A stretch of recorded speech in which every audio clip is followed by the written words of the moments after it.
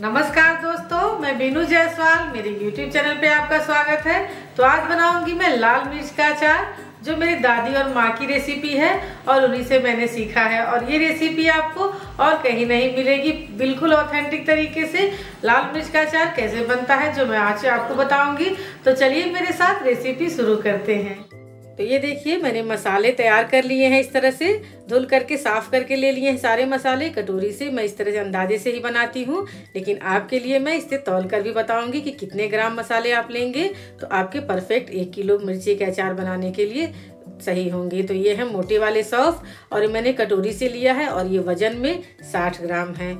तो इनको मैंने धुल करके ले लिया और ये लिया धनिया, ये थोड़े देखने में ज़्यादा दिखते हैं, लेकिन ये वज़न में 50 ग्राम है। तो आप मसाले इतने ही क्वांटिटी में लें, जितना मैं बता रही हूँ तो एक किलो आपके अचार अच्छी तरह बन जाएँगे। और ये है पीली वाली सरसों, और पीली वाली सरसों सौ ग्राम है। यहाँ मैंने लिया है जीरा जीरा पचास ग्राम है। और मैंने यहाँ पर लिया है अजवाइन अजवाइन तीस ग्राम है। और मैंने लिया है यहाँ पर मेथी मेथी भी तीस ग्राम है। और यहाँ लिया मैंने मंगरेल, जिसे कलौजी भी कहते हैं। ये बीस ग्राम के करीब हैं। और मैंने यहाँ पे लिया हींग, ये दस ग्राम है। हींग हमारे अचार को भी सेफ़ रखते हैं और एक बहुत अच्छा सा टेस्ट भी देते हैं मिर्च के अचार में। और ये लिया है मैंने सौ ग्राम यहाँ पे आमचूर पाउडर इसको मैं पचास ग्राम ही डालूँगी। आपको जितना खट्टा पसंद हो डाल सकते हैं। और सरसों का तेल मैंने लिया है एक कटोरी। और ये लिया है मैंने 250 ग्राम सफ़ेद नमक। इसको मैं 200 ग्राम डालूँगी। इतने मसाले में 200 ग्राम नमक बिल्कुल परफेक्ट आते हैं। नमक थोड़ा ज़्यादा डालते हैं कि अचार को हमारे प्रिजर्वेटिव का काम करता है। तो ये देखिए मिर्चियों को मैंने ले लिया है। और ये थोड़े से हार्ड हैं अभी, क्योंकि अभी ये फ्रेश हैं। तो इस समय मसाले अगर हम भरेंगे इसमें तो ये फट जाएँगे। तो इस नाते हम अभी इसको हम थोड़ा धूप दिखाएँगे एक घंटे या दो घंटे की ताकि इसकी स्किन मुलायम हो सके और इसमें मसाले हम अच्छी तरह से भर सके। ये मैंने तीन किलो मिर्च लिया है जो मैं एक किलो आपको बताऊँगी और दो किलो मिर्च का मैंने मसाला पहले ही तैयार कर रखा है और एक किलो मिर्च में कितना मसाला पड़ेगा उस हिसाब से मैं आपको बता करके बताऊँगी ताकि आपको बनाने में आसानी हो।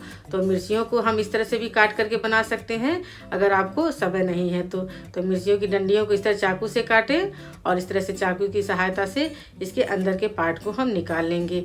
ये पार्ट निकालना बहुत ज़रूरी है, क्योंकि अगर ये नहीं निकलते हैं तो मिर्ची हमारी ख़राब हो जाती हैं। तो इस तरह से बीज के पार्ट को निकाल करके और सारे बीजों को हम अलग करेंगे।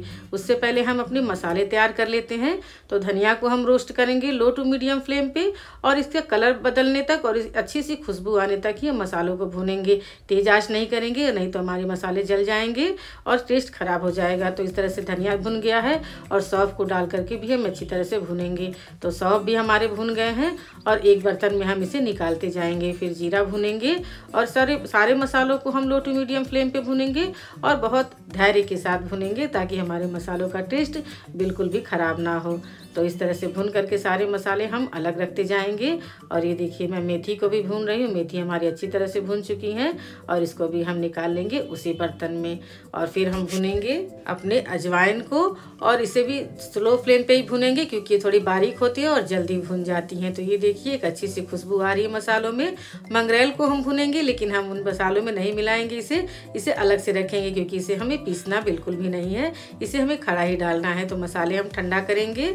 कुछ इस तरह से, और फिर जार में डाल करके इसका एक बारीक सा पेस्ट बनाएँगे। जितना बारीक हो सके उतना ही बनाएँ, क्योंकि थोड़ा सा दरदरा ये पेस्ट रहता ही है मसाले भुनने पर। तो अभी हम इसको पीस करके आपको दिखाते हैं कि कितना बारीक ये पीस गया है। तो ये देखिए, कुछ इस तरह से मसाले हमारे तैयार होते हैं, और इसी तरह से मसाले परफेक्ट होते हैं। सरसों को हम नहीं भुनेंगे, और सरसों को हम डाल करके हींग के साथ एक बार मिक्सर चलाएँगे, दरदरा करेंगे, क्योंकि हींग भी हमारी अच्छी तरह से मसालों में मिक्स हो जाए। तो अभी मैं आपको दिखाती हूँ कि कितना दरदरा मैंने किया है। बस इतना ही दरदरा आपको करना है सरसों को। और ये बहुत ही फ्लेवरफुल हो जाते हैं मसालों के अंदर गल करके। तो ये देखिए, इस तरह से सरसों रखेंगे और सरसों को भी हम इसी मसाले में मिक्स करेंगे। और अब मिलाएँगे हम इसमें खटाई पाउडर। तो खटाई पाउडर में 50 ग्राम मिलाई हूँ इसमें और 200 ग्राम नमक मिलाई हूँ। तो इतने मसाले आपके एकदम परफेक्ट हैं। एक किलो मिर्ची के अचार बनाने में इसमें कलौजी डाल दिया है मैंने बिना पीसे ही और सरसों का तेल। और इसे मिक्स करेंगे हम हाथों से, क्योंकि चम्मच से ये बिल्कुल भी नहीं मिक्स होंगे। और नमक और खटाई अच्छी तरह से मसालों में मिक्स हो तो इस तरह से हमें तेल के साथ इसको रगड़ करके इस तरह से मिक्स करके बना लेना है अचार के मसाले को। और ये सालों साल नहीं ख़राब होते हैं।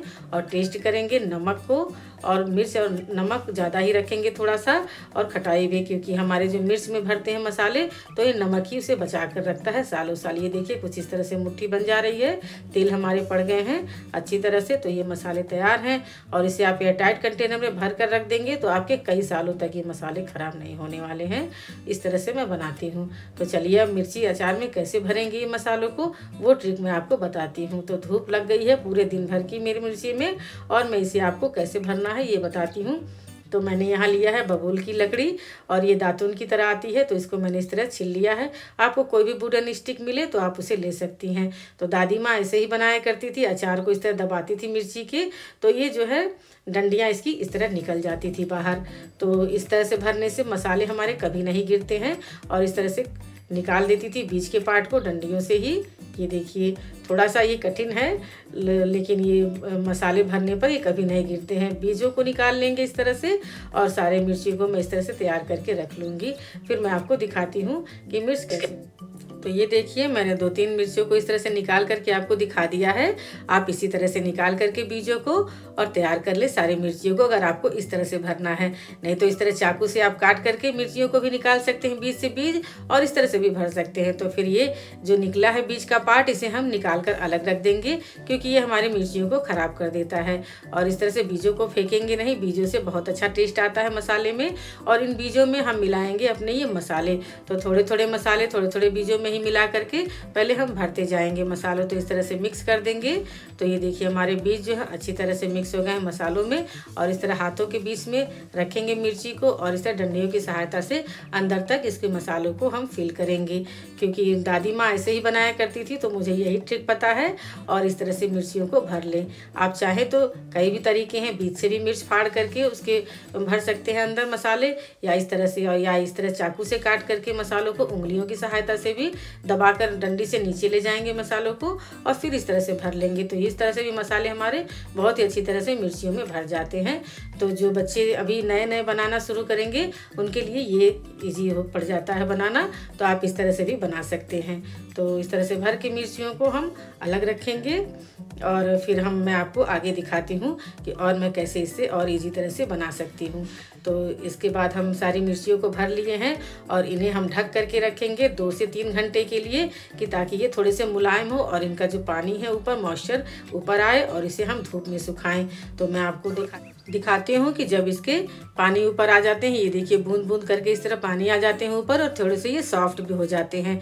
तो इस तरह से मैंने रात भर ढक के रख दिया था और अब दिन की तेज़ धूप में मैं इसे दिखाऊँगी। तो स्प्रिंग का महीना है और खिले हैं ढेर सारे फूल और ये सूख रहे हैं हमारे मिर्ची। तो ये स्प्रिंग का महीना है, जब हम बहुत सारी चीज़ों को सनराइज करके, स्टोर करके रखते हैं और यही मौसम सबसे बेस्ट होता है हमें रखने का, स्टोर करके चीज़ों को। तो ये हमारी मिर्चियाँ सूख गई हैं और मैं आपको दिखाती हूँ, जो ये कुछ मिर्चियाँ हमारी इस तरह से दाग वाली निकल जाती हैं ख़राब। इन मिर्चियों को हम किस तरह से यूज़ करें? तो इन मिर्चियों को हम बताते हैं आपको। तो इस तरह से दाग वाले पार्ट को काट के निकाल देंगे और इस तरह मिर्चियों को बीच से काटेंगे और इस तरह छोटे छोटे टुकड़ों में हम इन्हें काट लेंगे। तो जिन बच्चियों को अभी मिर्ची बनाने के लिए समय बिल्कुल भी नहीं है और खाने का बहुत शौक है तो बच्चियाँ इस तरह से मिर्चियों को काट सकती हैं और काट करके एक बोल में हम इसे ट्रांसफ़र करेंगे और इस तरह छोटे छोटे काटेंगे। और इसके बाद जो मसाले हमारे बच गए हैं, वो मसाले भी हम इनमें डाल देंगे और डाल देंगे सरसों का तेल और इसे मिक्स करके हम धूप दिखाएँगे पाँच से छः दिन तक तो ये मिर्चियाँ सालों साल नहीं खराब होंगी। ये तरीका भी इजी है, जो आने वाले समय में बच्चे बनाएँगे तो इस तरह से बना करके आप रख सकते हैं। जार में तो ये देखिए हमारी मिर्चियाँ इस तरह से धूप दिख करके सूख गई हैं, और मैंने लिया है यहाँ पे। तो बर्नी में कैसे हमारे अचार सेफ़ रहेंगे, वो मैं तरीका आपको बताती हूँ। तो एक कटोरी में तेल मैंने निकाल लिया है और मिर्चियों को इस तरह से डुबो देंगे ताकि इसके अंदर तक तेल चला जाए। और डुबो करके मिर्चियों को हम इस तरह से जार में सेट करते जाएँगे, नीचे ऊपर रखते हुए एक दूसरे के। तो इस तरह से देखिए, मैं सेट करके आपको दिखाती हूँ कि हमारे मिर्ची कैसे सेट हो जाते हैं। तो ये मिर्चियाँ हमारी अच्छी तरह से सेट हो चुकी हैं और इसमें हम डाल देंगे ऊपर से तेल क्योंकि तेल में ही मिर्चियाँ अच्छी तरह से डूबी रहती हैं तो ये बहुत ही मुलायम और सेफ़ रहती हैं। तो ढक्कन हम बिल्कुल भी नहीं लगाएँगे अभी, और लगाएँगे इसके ऊपर कपड़ा। कपड़ा लगाने का यही रीज़न होता है कि इसके अंदर का मॉइस्चर जो है, वो भाप बन के निकल जाता है। अगर हम ढक्कन लगा देते हैं तो पानी अंदर ही रह जाएगा और हमारे अचार खराब हो जाते हैं। तो कपड़े को इस तरह से बाँध देने से इसका मॉइस्चर सूख जाता है और हमारे अचार भी धूप में रखने पे धूल मिट्टी से सेफ़ रहते हैं। तो और बाकी जो इस तरह से मैंने काट के बनाया था, उसको भी मैं जार की बर्नी में इस तरह डाल दूँगी। हमेशा कांच की बर्नी में ही अचार को रखे ताकि ये सेफ़ रहे। तो इसमें तेल डालूँगी और इसको भी कपड़े से मैं इस तरह से बाँध दूँगी। और इसको भी मैं दिखाऊँगी। चार से पाँच दिन की धूप, कड़ी धूप में इसे रखें ताकि इसके तेल भी अच्छी तरह से पक जाए। तेल मैंने बिल्कुल कच्चा डाला है, क्योंकि हमारे यहाँ इस तरह से अचार में कच्चा तेल ही पड़ता था और ये बहुत ही सालों साल ख़राब नहीं होते थे, क्योंकि मुझे इसका बहुत अच्छे से अनुभव है जो मैं बनाती आ रही हूँ, जो मैंने आपके साथ शेयर किया है। तो चलिए, अब अचार बन चुका है आपके लिए। तो ये देखिए, बन गए हैं लाल मिर्च के अचार और ये बनकर बहुत ही टेस्टी तैयार होते हैं और ये मैं बहुत सालों से बनाते आ रही हूँ तो इसका मुझे बहुत अनुभव है जो मैंने आपके साथ शेयर किया है। स्टेप बाय स्टेप तो उसे फॉलो करते हुए आप भी बनाइए तो आपके अचार कभी भी नहीं खराब होंगे सालों साल और बहुत ही टेस्टी बनकर तैयार हुए होते हैं। तो मैंने ये कपड़ा लगाया है इस पे और इसे मैं धूप दिखाऊँगी अभी चार से पाँच दिन तक। और जब ये इसके मॉइस्चर खत्म हो जाएँगे आप अचार से तो मैं इस पर ढक्कन लगा करके टाइट रख दूँगी। और ये कभी नहीं खराब होते तो मैं तो ज़्यादा क्वांटिटी में बनाती हूँ इसे। और अभी मैंने आपको दिखाने के लिए थोड़ा सा बना करके आपको दिखाया है। तो फॉलो ज़रूर करिएगा इस रेसिपी को और बनाइएगा ज़रूर। और अपने अनुभव मुझे ज़रूर बताइएगा कमेंट सेक्शन में कि आपके अचार कैसे बने। और रेसिपी पसंद आए तो चैनल को लाइक सब्सक्राइब करिए बेलाइकन ज़रूर दबाइए। और अपनी फैमिली और फ्रेंड के साथ मेरे वीडियो को शेयर करिए। और मेरे वीडियो को देखने के लिए आपका बहुत बहुत धन्यवाद।